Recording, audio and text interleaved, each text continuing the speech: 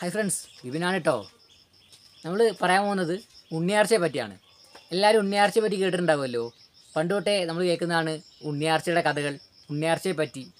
ഉണ്ണിയാർച്ചയും നമുക്കിപ്പോൾ സ്ത്രീകളുടെ പറ്റി പറയുമ്പോൾ ഉണ്ണിയാർച്ച എന്ന് പറയുന്ന ആ ഒരു പ്രതീകം അല്ലെങ്കിൽ ആ ഒരു സ്ത്രീത്വത്തിന്റെ ഒരു ഭാവമായിട്ട് അല്ലെങ്കിൽ ഒരു ശക്തിത്വത്തിന്റെ ശക്തിയുടെ ഒരു പ്രതീകമായിട്ട് ഉണ്ണിയാർച്ചയെ പറ്റി നമ്മളിപ്പോഴും പറയാറുണ്ട് കേൾക്കാറൊക്കെ ഉണ്ട് ശരിക്കും ആരാണ് ഉണ്ണിയാർച്ച? കേരളത്തിലെ ഉത്തര കേരളത്തിന്റെ സംസ്കാരത്തെ വിളിച്ചോതുന്ന പാട്ടുകളായ വടക്കൻ പാട്ടുകളിലെ ധീര നായികയായിരുന്നു ഉണ്ണിയാർച്ച.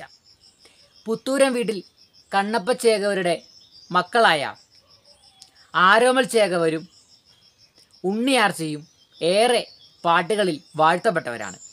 അതിൽപ്പെടുന്ന ഒരു ധീര നായികയാണ് ഉണ്ണിയാർച്ച എന്ന് പറയുന്നത്. സ്ത്രീത്വത്തിന്റെ ശക്തി വിളിച്ചോതുന്ന തരത്തിലുള്ള ഒരു പ്രതീകം തന്നെയായിരുന്നു ഉണ്ണിയാർച്ച.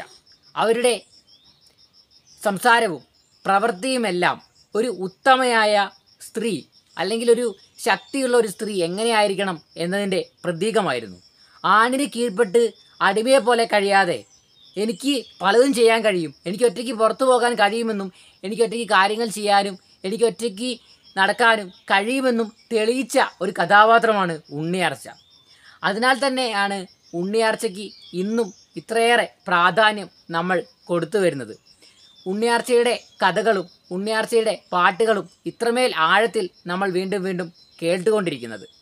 ഉണ്ണിയാർച്ച കൂത്ത് കാണാൻ പോയ കഥ ആറ്റുമണമേൽ ഉണ്ണിയാർച്ച കൂത്ത് കാണാൻ പോയ കഥയെല്ലാം ഇത്തരത്തിൽ വാഴ്ത്തപ്പെട്ട ഇത്തരത്തിൽ നമ്മൾ വീണ്ടും വീണ്ടും കേട്ടുകൊണ്ടിരിക്കുന്ന ഒരു വടക്കൻ പാട്ട് തന്നെയാണ്.